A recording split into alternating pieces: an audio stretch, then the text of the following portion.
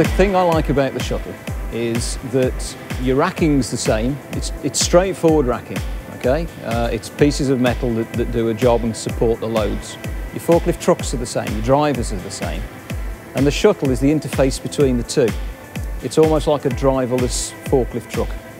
So it gives you loads of benefits that your forklift truck does, but it maximises the efficiency of your racking.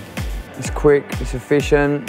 When you've got big bulks of stock, gets it all away for you. Yeah, I find it very good. I like it.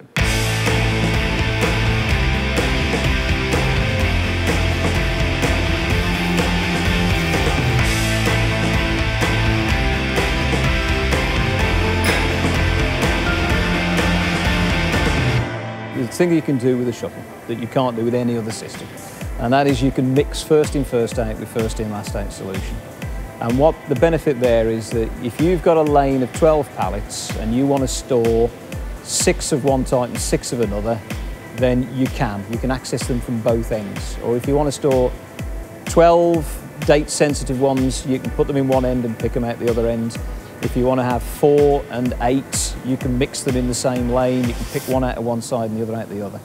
You can't do that with any other system. There's no other dynamic system that allows you to get that functionality.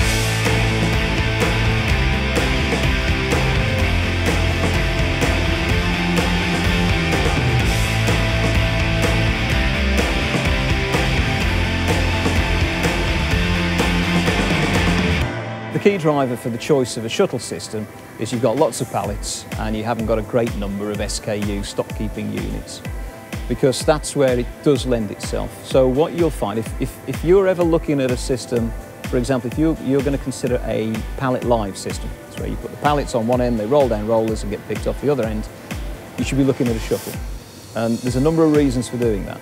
The one is your price per pallet for the racking itself is considerably less. So your initial outlay for the racking will be lower.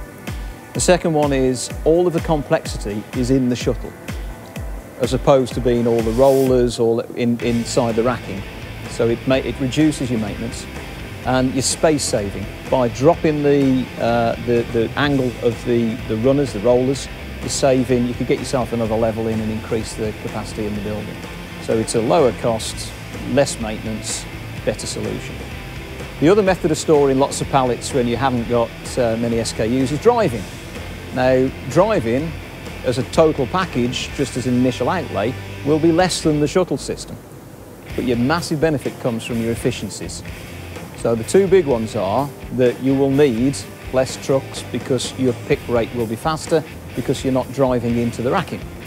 And the fact that you're not driving into the racking reduces your rack damage as well. So you get a whole benefit of better efficiencies, less damage um, for that slight increase in initial outlay.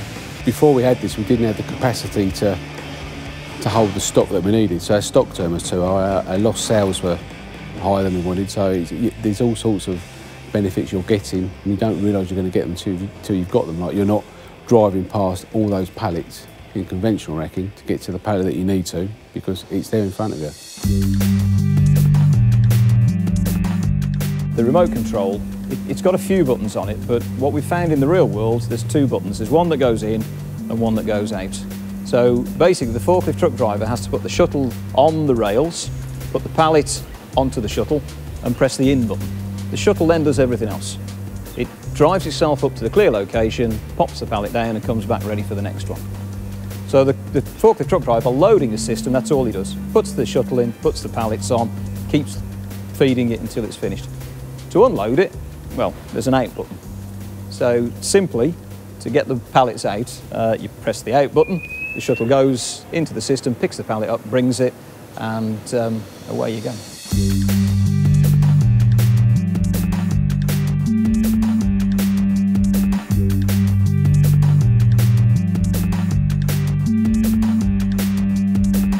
There's some specific features that, that, I, that I did uh, pick out. Some of the specific features include the fact that you can have multi-pallet, different depths of pallet in the same lane. And it doesn't matter where they sit in the lane, the, the shuttle will measure them, recognise what they are, and move them to the place accordingly. The other one is the distances. If you do have an overhang, you can set the distance between the pallets. And that can all be done on the remote control. You don't have to get anybody in to do it, so you can have a different lanes Uh, you can have big gaps, small gaps to maximise your space, large gaps to have an overhang. And these all, they're all in there. The key differentiator with the battery is that we use lithium technology. Now what that means is that there's a number of benefits for that uh, and they include the fact that you can charge it quicker, so you can get up to full charge quicker than uh, conventional batteries. So you can get it charged in a shift. Next one, it will carry its charge for longer and maintain that performance, so you're going to get longer uh, longevity of the battery, both from holding its charge and the amount of times that you can charge it. And the other one is the fact that it's lighter. Uh, this battery in this, uh, this shuttle weighs about 13, 14 kilos and that'll operate it for all that time. Well, I've had three days work out of this, this uh, uh, so far this week. So, yeah, lasts quite a long time. The ability to change the battery uh, without any tools and with, with just literally a, a plug-in, plug-out solution make, makes it a lot easier. The, the lithium ion gives you longevity, it gives you fast charge, it gives you no memory effect, so if you do part charge it, it isn't detrimental to the battery. Uh, it is a key benefit to, to this particular shuttle system.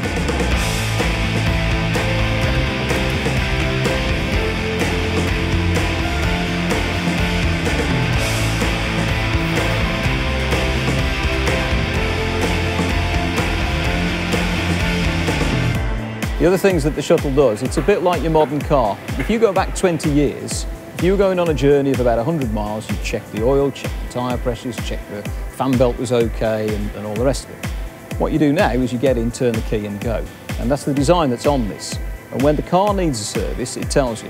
And this is exactly the same. On the remote control, when the shuttle needs a service, if your shuttle has any, any issues at all with regards to motors overheating, wheels slipping, there's all sensors in there that will appear on the remote and, and tell you that you've got an issue. So basically, it's, it, the intelligence is all built, built into the machine so that the maintenance can just fit into a standard schedule. So ma minimum maintenance.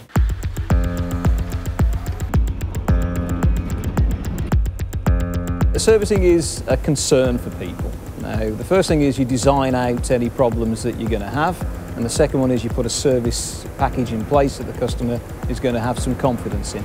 And what we've done is we have trained engineers across the country, we have a backup of spare parts, and we've even got a spare shuttle available that we can get into a customer's as quick as we can pick it up and get it to their site.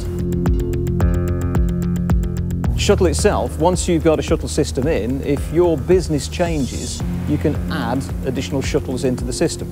So the remote controls are standard. So they'll run up to four shuttles off one remote control. So you could have one forklift driver operating four shuttles to bring the relevant pallets to them. That massively increases your efficiency. So it keeps things very simple, very standard, so that when you do, when your business increases, your pick rates change, your customer demands change, you can change your shuttles to suit. I think these are excellent for, for UK because warehousing is quite expensive in the UK. Uh, land is expensive, so you want to maximise the warehousing space, and that, that does that exactly that. With maximise the cube, you're getting rid of your, your forklift aisles, and you're just getting a denser storage. Uh, the distribution chains are getting longer, so things are coming over in bulk and containers. Uh, so you need to store it, you to, and you need to store a lot of the same products in many cases, and that does exactly that for you. If I had to put it into three words, I'd say that it was, it was simple, it was scalable, and it was efficient.